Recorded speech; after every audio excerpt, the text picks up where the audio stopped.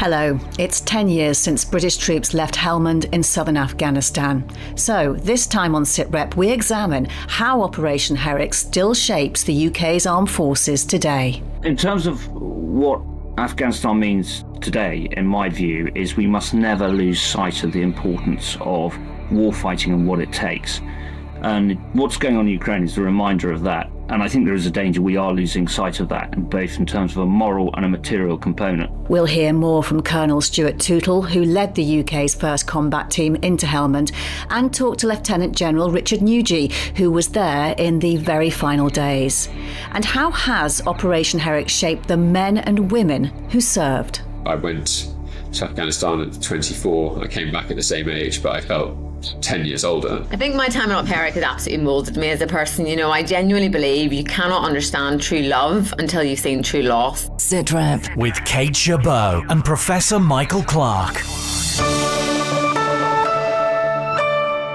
Officially, Operation Herrick ended in December 2014, but the real moment of significance came in the October when British troops left Helmand, where they had fought for more than eight years and where Camp Bastion had been their home. Mr. Speaker, yesterday British forces concluded their combat mission in Afghanistan. The Union flag, the stars and stripes, and the flag of NATO are lowered, leaving that of Afghanistan flying alone.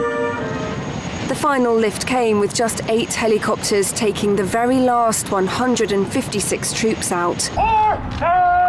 It's been a very, very big operation. We've moved uh, four and a half, five thousand pieces of equipment, mostly by air. This has been a, a spectacularly large but very successful logistic operation. The significance of this moment could not have been lost on these troops as they took their last steps on Helmand soil.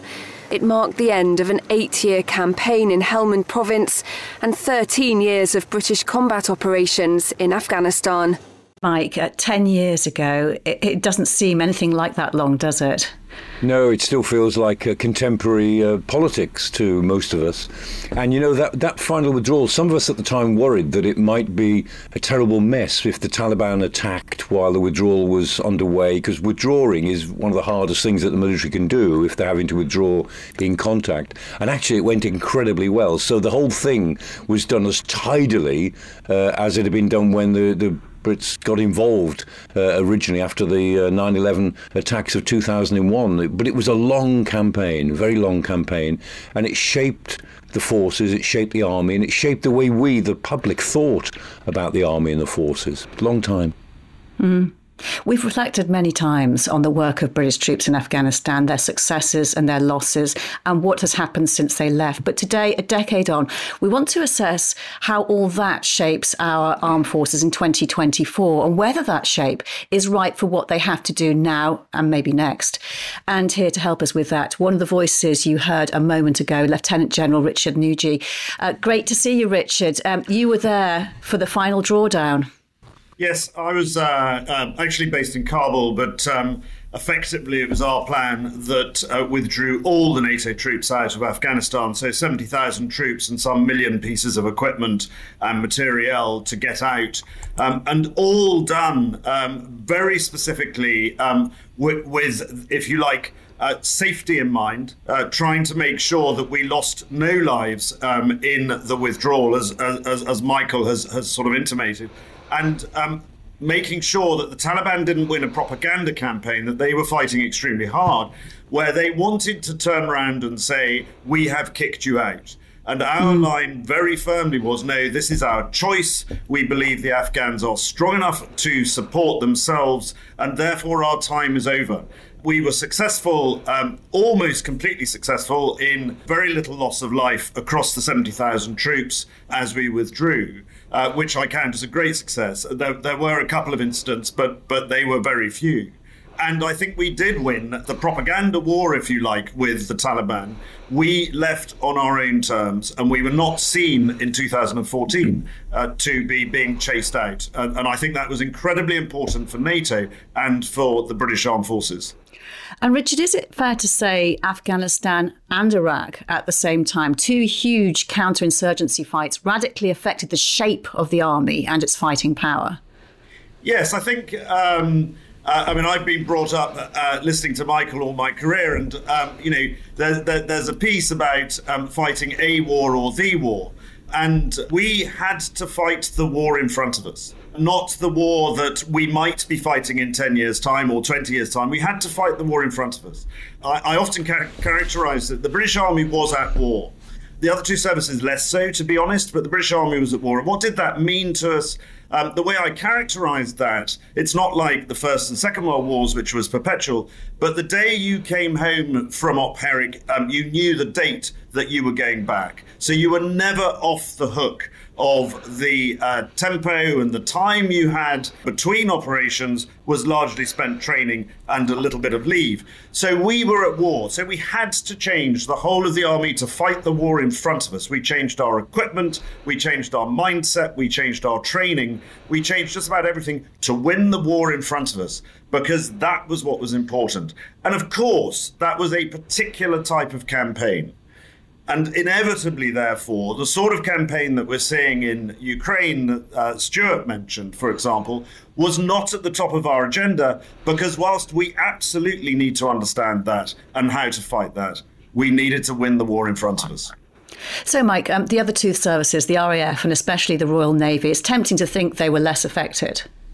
Uh, well, they were affected. Yeah, I mean, the RAF uh, was running operations all the time, and the Navy deployed quite a lot of personnel to Afghanistan over the years. You look at the number of Navy people who served in um, ground support and combat roles, it's quite interesting. And I remember Alan West, who was First Sea Lord, was making the point very forcibly in Parliament. He said, Don't think the Navy's not doing quite a lot in Afghanistan. It's actually doing a great deal in terms of boots on the ground. But yes, the point is the other two services were recapitalising during this time. You know, the Navy was, was thinking about the new ships it would need for the 2020s, and the Air Force about its new aircraft types, the new fast jets and transport. And the Army was being bent out of shape um, because, as Richard mm. said, it was fighting the war in front of it. And so the Army had had this war to concentrate on. And because we don't have a bigger Army, it, ne- it needed the whole of the Army to concentrate on this war, not just a part of the Army to do this war while the rest of the Army did something else. I mean, that, that would have been the case in the 1930s, but not now. And so the Army was bent out of shape or into a particular shape for Afghanistan, where the other two services were getting on with their own rethinking of their post Cold War role.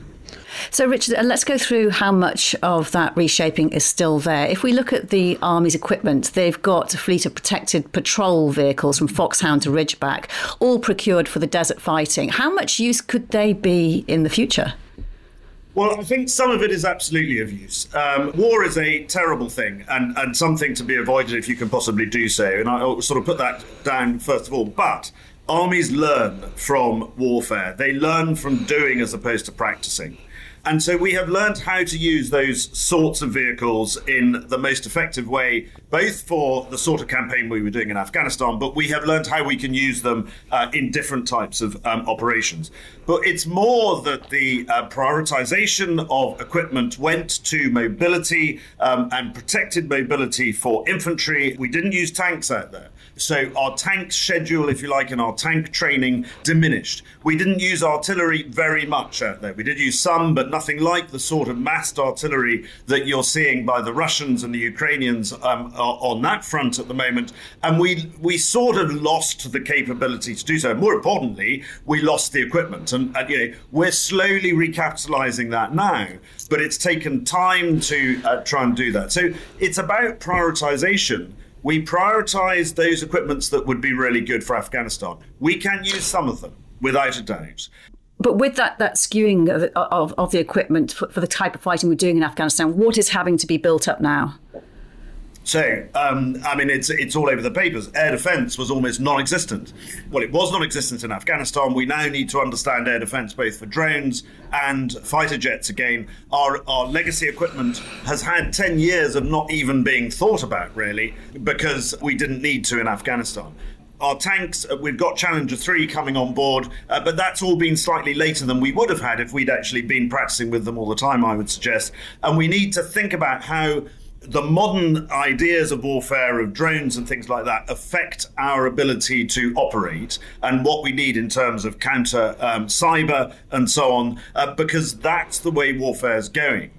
We haven't done that for 10 years. We've been out of the loop for 10 years because we've been fighting in Afghanistan. Yeah, you know, there's a funny um, historical parallel to all of this in the 1930s and so on, because after the First World War, the British Army was a, was a heavy war-fighting army. It knew the Western Front Army knew what it was doing, and it was a very skillful army by 1918. And then it spent the 20s and 30s on colonial operations on the northwest frontier in places like Afghanistan, in the Middle East, in Iraq, and so on. And then suddenly, and, and people used to talk about, you know, this is not the Western Front anymore. You know, this is light infantry. This is this is what we do now. And then suddenly in 1939, the whole army had to switch back again to the to the European role and get back to war fighting. And it's almost as if we're repeating a degree of that sort of transition, where you see an army goes from a sort mm. of Western Front. European army fighting a war to something much more like colonial policing and then all the way back again. Here we are again.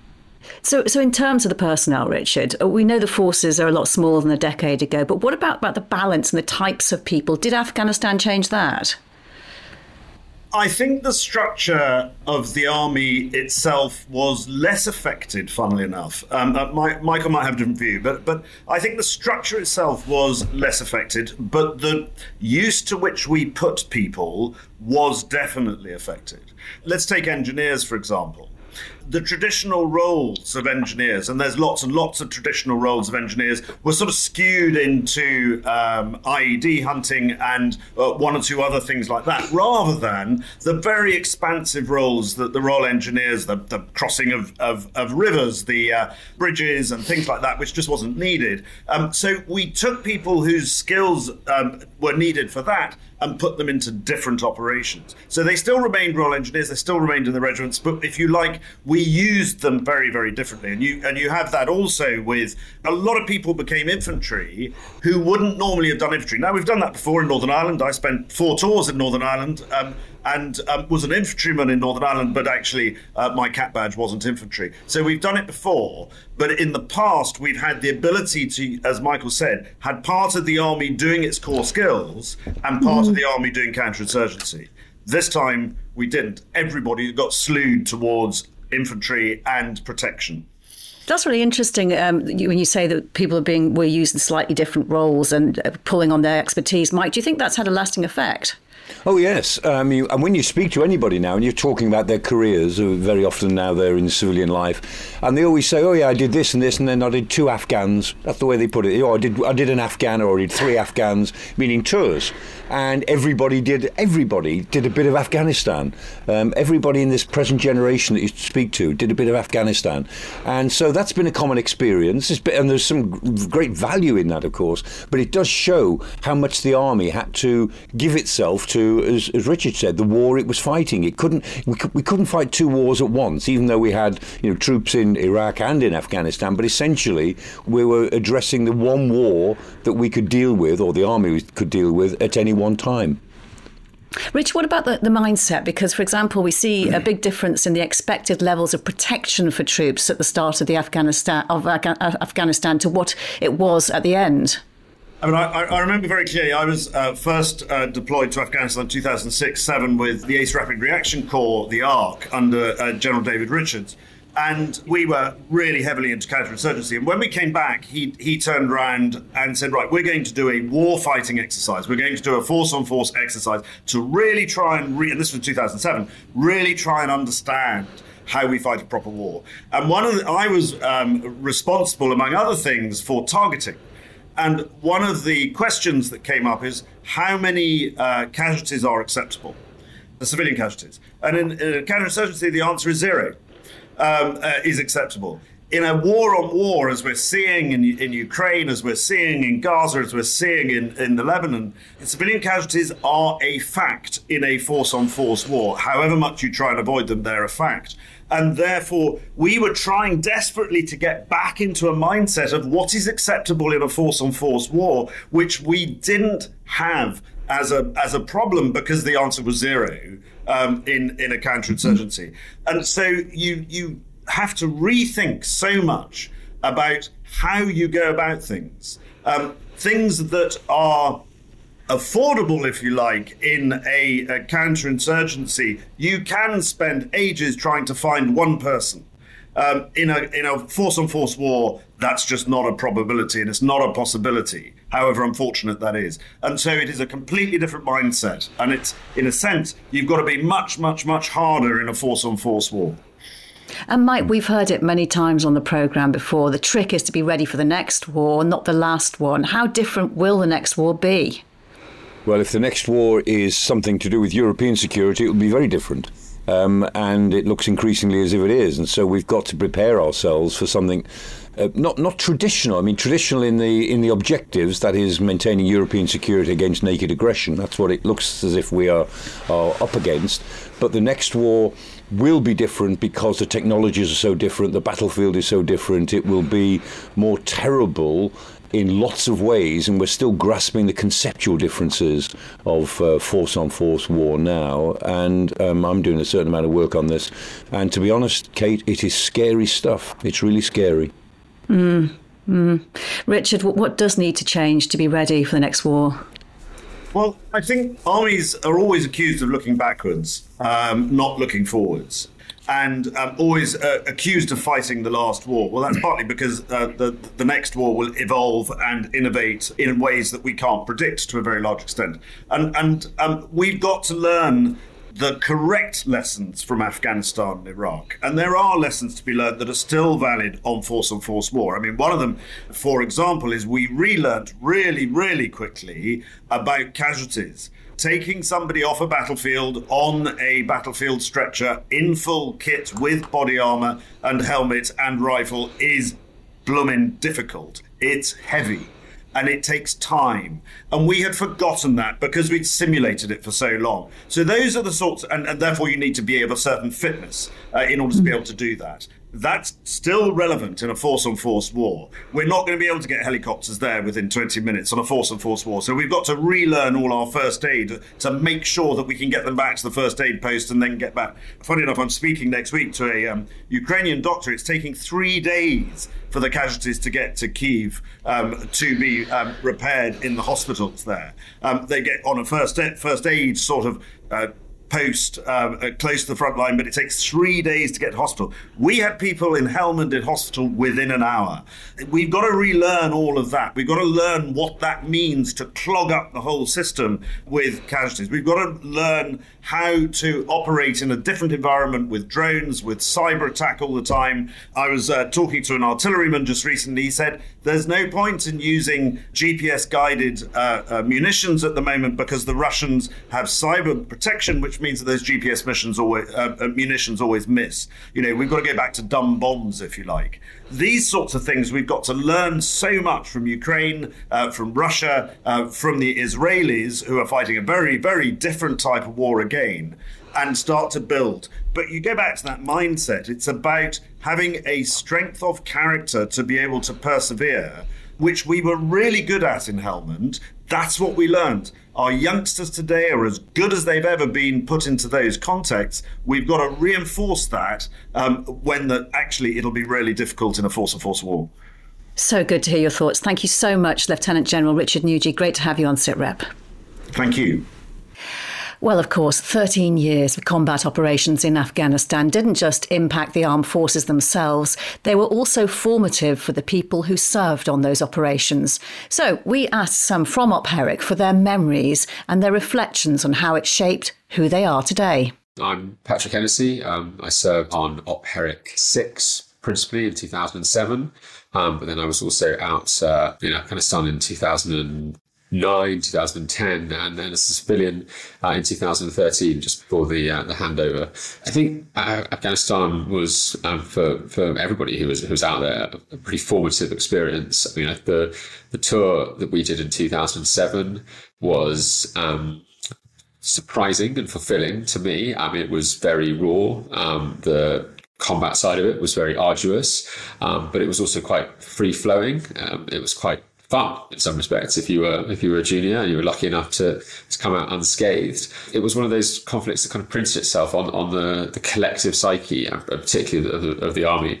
When I was at Sandhurst, the sort of formative combat experience, I think, was probably still the Falklands. I suspect what's happened now is that there are generations of, of students at Sandhurst and Catterick who are sort of probably bored of hearing about how this attack went down in Sangin in the same way that we were a bit more about Goose Green, but it, it just shows how lessons repeat themselves. My name's Liz McConaughey, also known as Chinook Crew Chick, and I was uh, a Chinook crewman for the whole of that campaign. So I ended up, by the time Herrick had finished, I'd done 10 deployments on Herrick, working on the battlefield helicopter that is the mighty Wokka Wokka. So whenever I first deployed on Op Herrick, uh, we were based in Kandahar and Camp Bastion didn't even exist. And part of the Chinook Force's day-to-day tasking was to help build Camp Bastion up out of the ground. It was just a barbed wire fence surrounding a big dust bowl. And I think to look at what we had created by the end of Op Herrick after all that time out there, you know, it was like a small city. It was the size of Reading. My name is Sean Bell. I'm a former fighter pilot, a Harrier pilot in the Royal Air Force. Um, I did three tours in Afghanistan. Um, one as a pilot down at Kandahar Airfield, one running the Expeditionary Air Wing down there, and then the longest, a one year tour up with uh, the ISAF headquarters up in Kabul. But when you were flying, um, the first thing that the uh, Army colleagues would ask for was a show of force. And that often meant just flying as low and as fast as you dared. Um, because the Taliban didn't really have a lot of uh, um, weapons that could affect the Harrier. They had some very simple surface to air missiles, but there were some fairly rudimentary ways you could avoid that. But as soon as they heard the noise, as soon as they heard the jet thundering overhead, it had the desired effect and they fled. In many ways, I think most pilots feel not very vulnerable when in the cockpit. You felt a lot more vulnerable when you're actually on the ground um, because you're no longer master of your destiny. And I think many of us, um, you know, our day to day life at Kandahar, which used to come under regular attack, some of our aircraft were struck at times and the like. That's where you felt a little bit more philosophical because you just weren't sure when you're going to strut. I'm Sally Orange and I served on Op Herrick 13 back in 2011 and I was the OC of the deployed medical rehabilitation team which was based primarily in Camp Bastion. I feel incredibly privileged and proud to have served on, on Op Herrick and I think the skills that I've learnt um, have certainly helped me through through life. Um, you know, sometimes if I'm having a difficult time, I just think back to some of those patients who sadly didn't make it or have had very life changing injuries. And yeah, they can become my determination in, you know, when if I'm struggling with things of thinking, well, you know, you haven't had to go through that or so so I try and use it in a, in a positive way to to be able to show that my name's uh, Stuart Tootle. I was a colonel in the Parachute Regiment commanding 3 Para, and we were the first battalion, and in fact, battle group that went into Helmand Province in 2006. There are a legion of memories. Um, high points, flying into battle, aboard Chinook helicopters, air assaulting into the Sangin Valley, you know, high octane stuff. That's what soldiers, you know, born to do, especially paratroopers.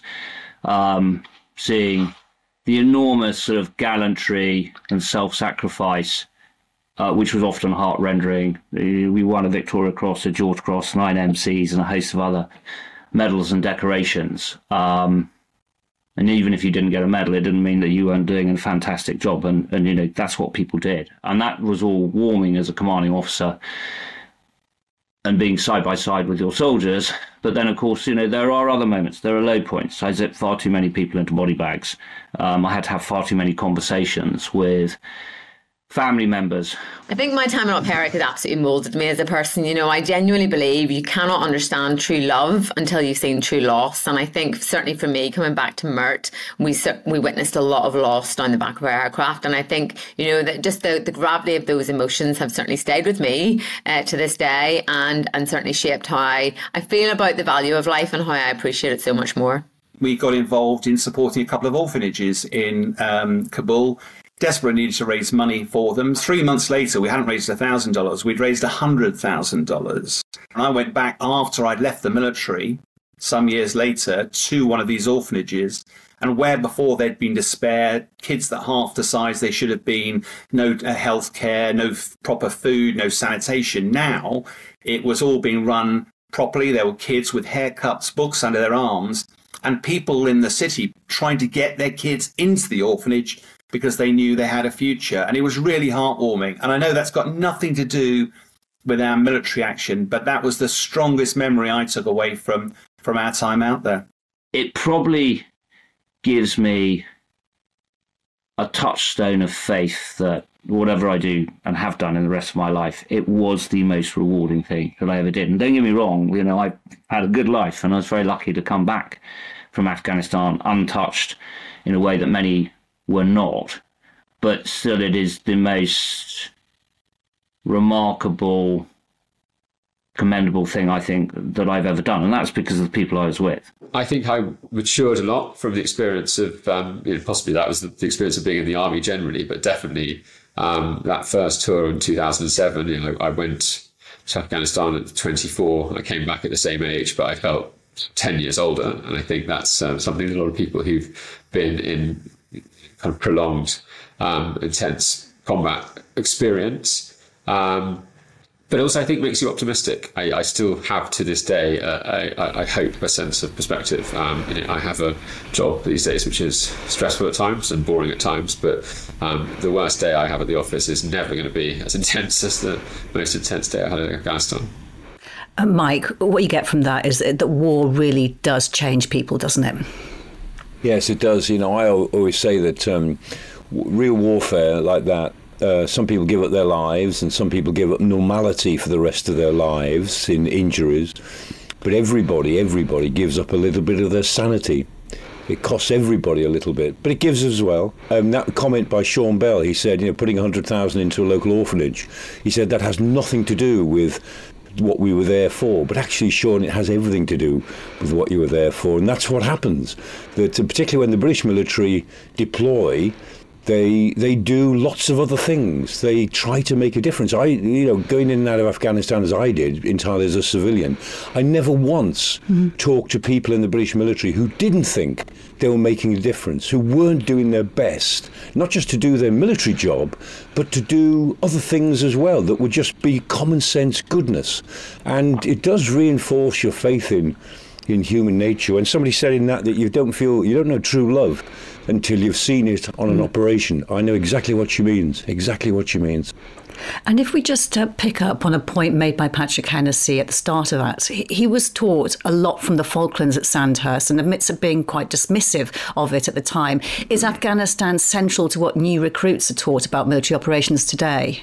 Well, it's changing. Interestingly, I mean, you know, 2014 we pulled out of Afghanistan. That's exactly when the European scene began to get darker. That was Putin's invasion of Crimea. And since 2014, we know what's happened then, that Europe has, slipped away from peace and security into what we've got now. And the effect of that on the forces is that before 2014, we were training for operations. The forces were involved in operations, and they did their operations as well as they possibly could in the circumstances. But since 2014, the, the, the emphasis now is not training for operations, we've got to train for war. And training for war and being prepared for war is a bit different from doing operations where you can do two or three things simultaneously and you make you make do and mend as best you can and you improvise. Now we have a much more serious challenge. And so what the military are now trying to do, and this has really affected the army more than the, the Navy and the Air Force, is switch around to go from being like the old Indian Army, which was a post-colonial army, an army that was good at light infantry, good at enforcement, good at small operations based on the quality of the individual and the individual officership, go from that to the ability to deploy bigger units and fight a war, carry through a war-winning strategy or fight a, a war strategy. And we're in the middle of that transition from light infantry operations to heavy metal and other forms of, of warfare operation. And we're only halfway th- through that transition now. I hope we make the transition before we need it. Well, we have another veteran of British operations in Afghanistan with us now, Jonny Ball, who served in the intelligence corps. Jonny, uh, welcome back to SITREP. Great to see you again.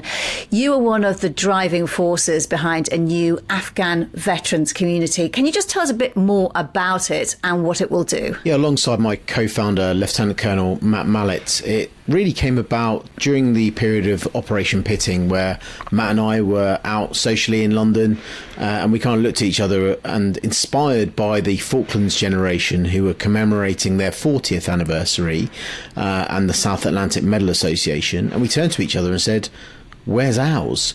Um, so that was really the start of the community. And since then, we've just been out and about talking to the 150,000, not all of them, uh, but been, been talking to the 150,000 large community, asking them about their feelings about Afghanistan. And as we approach the 10 year anniversary of the end of combat operations, it mm. just felt right that this is the time uh, to provide a, a sense of unity, uh, to provide a sense of empathy as well from those of us that serve that really understand what that period of our lives is like. But most importantly, looking forward, a sense of progress um, of this largely working age population who are out there in the, in society, and some like Matt are still serving. Yeah, a huge community. You say 150,000. Why, why is it so important to you? It runs deep. Um, I think for many of us, Afghanistan was a formative experience. It's where most of my social friends from the armed forces community, there was a commonality around Afghanistan. Um, I think it was our generation's conflict. If we look back to previous generations, my uh, own inspiration for joining the army was my school caretaker, Mr. Webb, who was a Falklands War veteran. And those legends and previous generations, such as the Normandy Veterans Association, and who incidentally are actually the same size community 156,000 landed on the beaches of Normandy. So we're comparative in terms of the number. But I guess we've been inspired by those people. We literally stand in their shadows of those giants. Um, that Afghanistan was a formative experience. It's where many of us grew up. Um, it's where many of us lost friends. Um, so us really coming together as this shared experience community to be able to remember those that have fallen, uh, but also to bring us all together, bring people out of the shadows um, around this common shared experience as we look forward to the future um, and the rest of our lives. Yeah, and I, I, guess for people still serving, like your co founder, Matt, that commonality existed in the forces immediately after Afghanistan, but, but less so now? Yeah, well, Matt and I, it's, it's an obvious fact that I wasn't an officer. I left as a staff sergeant from the Army Reserves after nearly 22 years' service. Matt's still serving, Lieutenant Colonel. And how can we be mates? But we are we are mates outside of the military and the when we get afghan veterans together you notice an instant bond no matter what background whether regular reserve whether they are raf navy or um, or army or what herrick they're on or if they're on op pitting or op Toral, all the other names associated with Afghanistan over that 20 year period of our history. Uh, and I was actually with a Chelsea pensioner yesterday, Bill, who is 72. And guess what? He's an Afghan veteran. He's one of two mm. pensioners. So it's a multi generational, multi cap badge. But as soon as you get us together, there's a commonality, and that's really quite powerful. And what do you hope that men and women who served on Op Herrick will be able to get from this association, apart from that commonality that you mentioned? I'll be honest, uh, when op pitting happened, I did feel uh, a sense of shame. The, the manner in which we withdrew from Afghanistan was very difficult. I remember phoning into a radio station it, with my baby in my arms, um, really upset about the nature. I worked with as an interpreter, as a Pashto interpreter on the ground with school children, rebuilding schools. Uh, I found that their futures and their, the hopes and fears that they've got dashed by that moment and the nature of our withdrawal really difficult. But also, I was immensely proud really proud of my colleagues and, and, our actions on the ground in Afghanistan. So, what I hope that this association or what this community, as we're known as the Afghan Veterans Community, because that's what the community told us in a set of focus groups over the summer they wanted to be known as, I hope that we can regain the narrative of Afghanistan. The stuff out of our control, the nature of our withdrawal, that's now history. It's a sad, tragic mm. history. But what can we do in the future? We can actually regain the narrative around the sense of pride. And every single veteran I spoke have spoken to so far, which is many, online and in person, have spoken about the proud moments. So that's what I hope to achieve to bring us all together, pull people out of the shadows, and connect this community. So, how much has Op Herrick shaped who you are today? Massively. I think it's made me a far more empathetic person. I had the gift of learning a foreign language, so understanding foreign cultures, living in austere environments, um, appreciating what we have. So under that extreme um, operational environment of having nothing and meeting civilians that have nothing too. But I also saw the best of us. It gave me enormous hope of the men and women of the British Armed Forces, how absolutely brilliant they are under those pressures when you lose people, when you have people injured, or you become injured yourself. And I've met many veterans who are injured in Afghanistan. So it gives me a sense of enormous hope and pride for the future. And I think that's what Afghanistan has given me. It's left um, indelible, indelible ink mark on my mindset and my soul and my heart. And even though it's not all of me, it's a large part of me of being a very proud veteran of Afghanistan. And for those who served on Op Herrick, how do they find out more about becoming part of this community? Well, naturally, we're available on all social media, whether it be Instagram, LinkedIn, and Facebook. We're a nascent community. I would say to the community and also those that weren't Afghan veterans, come and like our page, see what we're up to. We're doing things in a different way. And the way that the community can help co create this, be part of this, is by completing the Afghanistan Veterans Survey. And you'll see the link on our social media. We believe this is the largest survey ever undertaken in this country, specifically of Afghan veterans. Uh, we carried out a series of focus groups over the summer, and every veteran was compensated financially because that's a new way of doing things. It's important that we value our people and their opinions. And now we're doing this quantitative research. So have your say, help us build this. Your views really do matter. So find us on social media and reach out to myself or Matt online individually. And what do you need to type in exactly to find you? At UK Afghan Veterans. Simple as that. Thank you so much, Jonny Ball. Great to speak. Yeah, thanks. Great to speak to you. Thank you. Thank you. Mike, uh, from the outside, it can be easy to misunderstand specific veterans communities or associations and their importance, can't it? Yes, I mean, sometimes it looks like a, a, jolly amongst people who just want to relive the past, and it's not that at all. As Jonny said, it's not just that they have a shared experience. Of course, they all have that. It's the sort of shared experience of anybody who goes on trips and, and does things together. But in the case of battle or, or warfare or operations, it's something else. It's an emotional stretch. Everybody who goes to war is emotionally stretched. And what unites these people is that experience of the emotional stretch. So, of course, they have things that only they can understand with each other. They can't share it with the rest of us, both with pride, but also with fear and sometimes with shame.